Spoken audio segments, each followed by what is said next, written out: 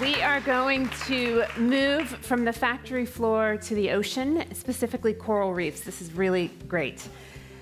Globally, coral reefs support almost 1 billion people and are one of the most diverse ecosystems on the planet. But coral reefs continue to decline at an unprecedented rate despite a surge in data, funding, and political will to support the, success and the health of coral reefs. So, for researchers who are trying to remedy this, the issue isn't a lack of access to data. Currents, corals, water, weather have all been instrumented and are easily monitored.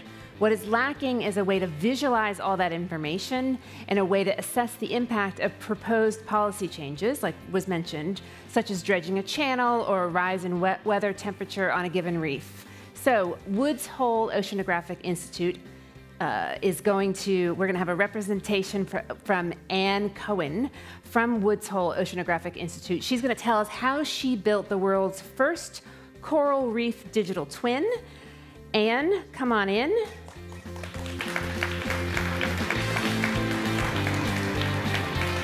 Very excited to have you here. I'm going to leave the stage to you, and you're okay. going to take everyone through it. Great. Great. Thanks so much.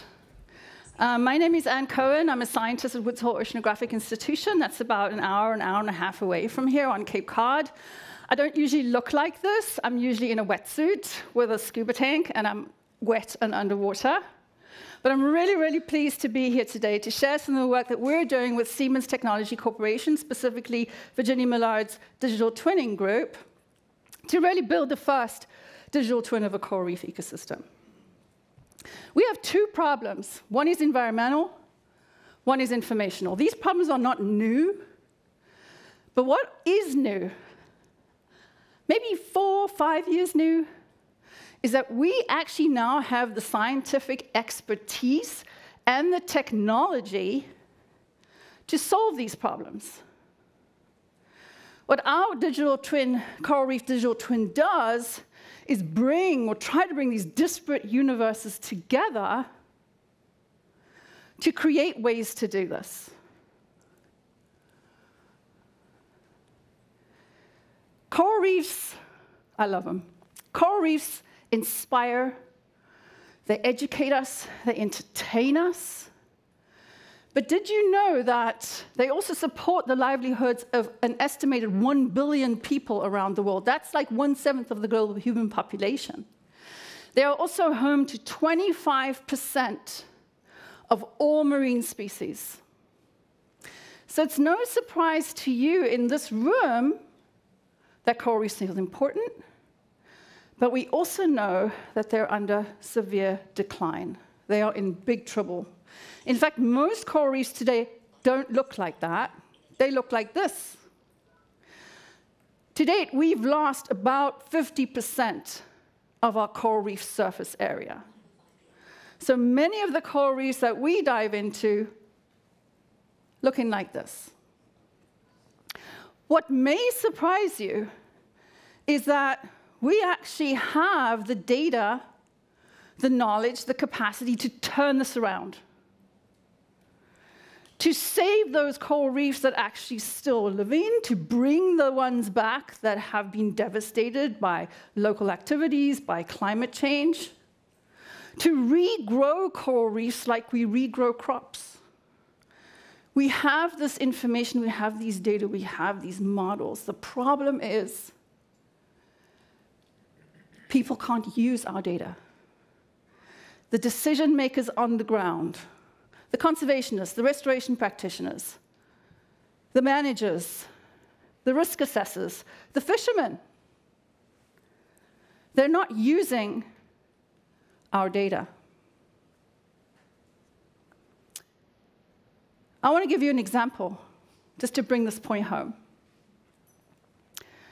This is Palmyra Atoll, a remote coral reef in the middle of the Central Pacific you can either get there on a sailboat or you can fly in a tiny, tiny little plane. I'd rather go on a sailboat. Palmyra Atoll is a US national monument. It's a wildlife refuge. But during World War II, the US military occupying Palmyra at the time built a causeway across Palmyra's lagoon. And you can see that causeway here in these images. Today, there is no life in those lagoons at all.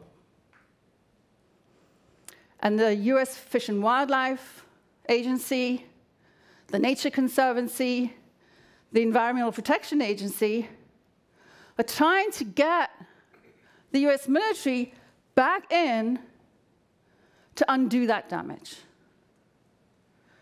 But first, they need to show that it's the causeway that has been the, the driver of this lagoon of death, these lagoons of death. And then they need to demonstrate that if the military comes in and spends millions and millions of dollars removing that causeway or removing parts of that causeway or strategically blowing up some of that causeway, we could, we could bring Palmyra, this US national monument, back to its pristine state. We actually have the scientific capacity, as I said, within the past five years, to build realistic, three dimensional, meter scale models of that entire coral reef ecosystem. And we have the capability to conduct what if scenarios so that we can take out parts of the causeway in our model. And we can see how that intervention will change the circulation and the temperature on the reef, making it more conducive to life. And we can do that thousands and thousands of times. We can try different interventions, and we don't have to do it for real. We can do it in the model. Essentially, what we're creating, what we're able to create, is a digital twin. So let me show you what that looks like. Can you see? It's exactly what it looks like. I don't understand it, do you? Coral reef managers can't understand it. Agencies can't use it. So guess what? Nothing gets done. What if we could create a virtual ecosystem of Palmyra Atoll that is as close to real as we can possibly get with our models. Now, let me just emphasize how good we are the scientific community. We can get to within 0.2 degrees Celsius of observational temperatures at any point across that coral reef ecosystem and down to 200 foot depth. We are so good at this. We understand that physics so well. What if we could create a virtual world based on reality and bring it to your computer, to your cell phone, wherever you are. So that instead of trying to understand complex code, trying to access multiple different platforms of data that nobody can understand, we actually bring this environment to you in a universal visual language. What you're looking at right here is the high resolution bathymetry of Palmyra Atoll, and you can see the causeway on my left. That's now separating those two lagoons.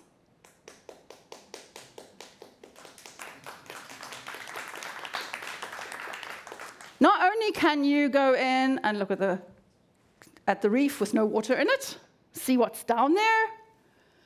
With the point of your mouse, you can see what depth it is we can now overlay the life that's there as well. So what we've done here is we've taken Allen Coral Atlas benthic maps and we've superimposed them upon the 3D bathymetry of the atoll. So you can see where the corals are, you can see where the coral and algae are, you can see where the seagrass is. You can see it. It's real. It's not a number. It's actually there, and it's based on real data. Okay, and now what we can do is we can actually choose to run a temperature simulation in the model. So what you're looking at here is the lagoon kind of angled, those, those lagoons, with a causeway in the upper left there, my left. I'm just going to uh, play that again for you. This would be a user going in, choosing to run a temperature simulation, and watching how that heat builds up in that lagoon because the causeway is there. That red blob is the temperature of the lagoon because the water is stuck. It can't go anywhere.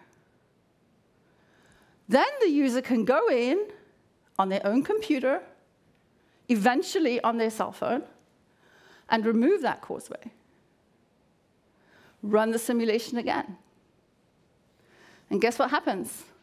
You remove the causeway, temperatures cool down. In fact, they cool down right to the bottom of the lagoon. The currents between the lagoons are now connected again, so the fish larvae are connecting between the lagoons, the coral larvae are going back and forth. And the lagoon is coming back to life. And one of the most important things is that not only can the user, the decision maker, see the consequences of the intervention, they can play God and conduct those interventions themselves, see what happens. But then they can take these visuals and share them with folks at DoD. What better way to convince people of things needing to get done? What we can also do, and this is what we're going to start doing in the next year, is actually geolocate three dimensional benthic information as visuals into our digital twin. So not only can you remove the causeway, get that temperature back down, get those currents going, but you'll be able to see the coral reef coming back to life.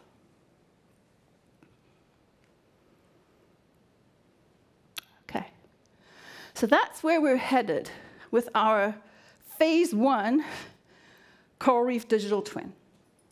Okay, here's where I want to go. I want to get in my plane. This is Microsoft Flight Simulator. I want to fly to Palmyra, and I wanted to look like Palmyra. I wanted to look like the reef that I go into on a tiny plane when I visit there. And I want to be able to take my causeway destruction. I don't want to use the word bomber because that's too destructive. My causeway removal kit and fly over that causeway take pieces out and see what actually happens to the temperature and the flow and the corals as I'm flying over there. We need folks from the video game world, from the tech world, to help us to reach more people. With our digital twin right now, we are increasing the utility of the scientific data a thousandfold. I want to get millionfold. I want to get kids in here. I want to get teachers. I want to get fishermen. I want to get anybody who has interest in coral reef or investment in coral reef. That's a billion people around the world. My feeling is this is how we do it. Thank you so much.